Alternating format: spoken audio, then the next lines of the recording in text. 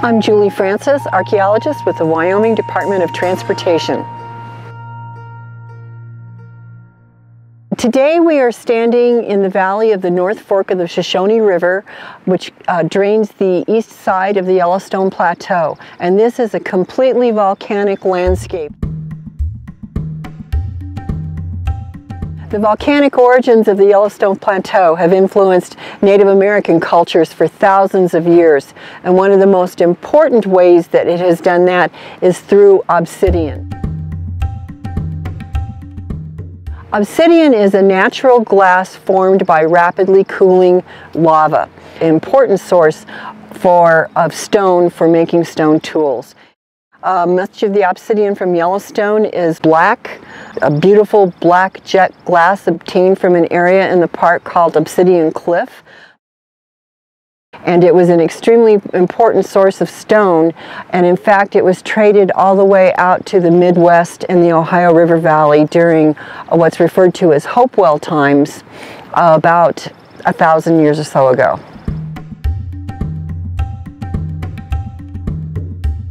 Addition to the obsidian found within the park and many other volcanic areas in the American West, there are a variety of cherts and quartzites which occur in these volcanic rocks behind me.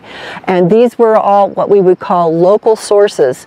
And the stone tools and the waste flakes that we find in archaeological sites uh, contain high numbers of local raw materials in addition to obsidian, which indicates a very long-term familiarity with the area and a knowledge of the geology and the geography.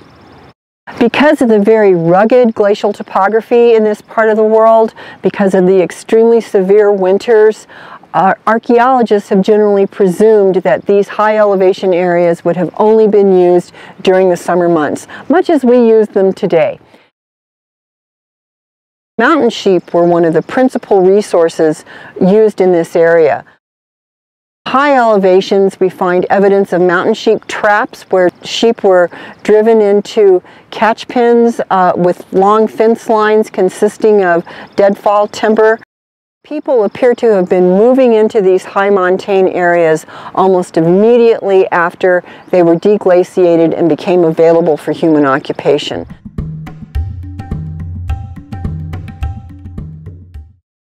One of the other things that has come out of these recent investigations is evidence for year-round occupation of the high elevation areas uh, through rock shelters such as Mummy Cave, uh, a site in Sunlight Basin referred to as Dead Indian Creek that had a 4,000 year old uh, residential structure. Uh, that site, the people there were uh, procuring deer in large numbers, uh, probably communal deer hunting, that also had evidence of ceremonial activity associated with it.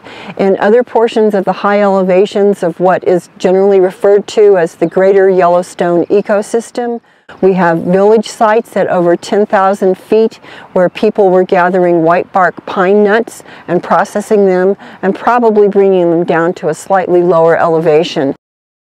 We are beginning to realize how complex and long-term the use of the high country was by Native peoples.